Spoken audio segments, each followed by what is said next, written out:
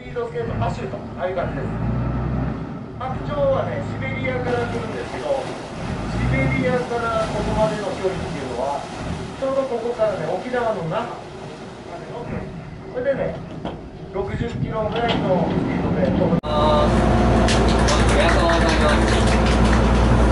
えー、所要時間がね、約30分になってます。今日はすごく天気いいんでね、30分大沼の景色楽しんで見ていってください。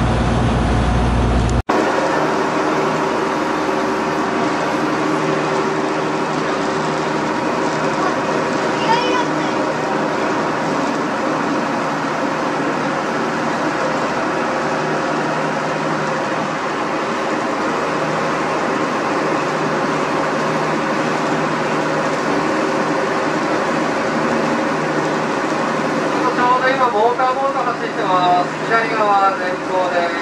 モーターボート走ってます。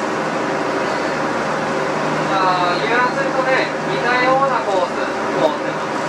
あっちはスピード出るんで、だいたい10分くらいでスピードに乗ってね、走っていきます。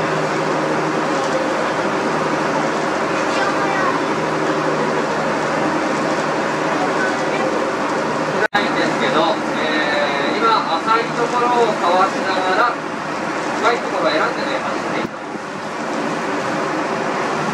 まっすぐ近く、左側の方に、オレンジ色、あと緑色のね、丸い杭が浮いてます。当たって取った暗証がある場所は、こういった目印が出て、安定しね、どんどんまあ、岩見えてるんですけどね、えーいくつか写真用意してます結構見えないことあるんでね、えー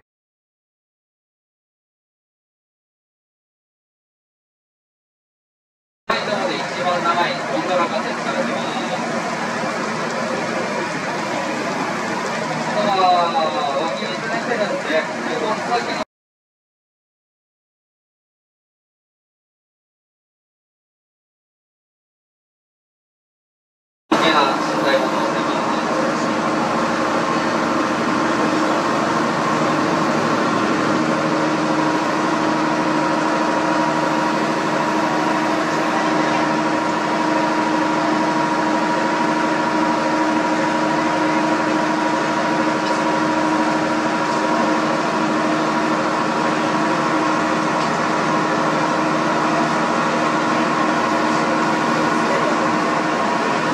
この奥の橋が JR です。この上で、えー JR とそれから見ると線路とか枕木とかね見えてますね。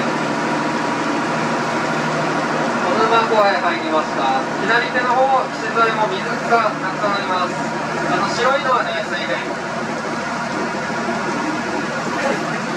あとは右手の方もね、すごい数の水草です。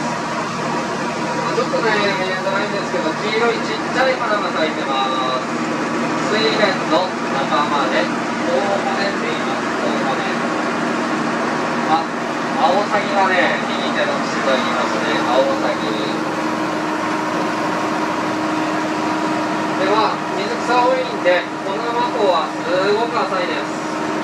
こっちは平均の水深で2メートルぐらい。深い場所でも5メートルぐらいしかないんでね、えー、まあ、すごく浅い湖になってます。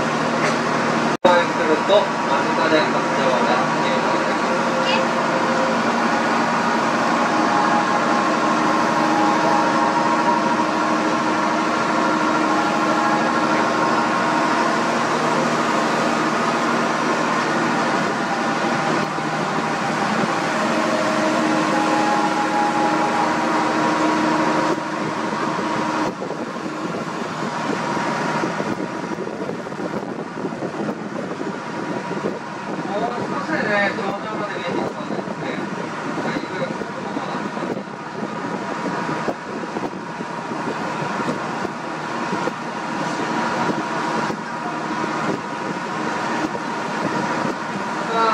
derrubou.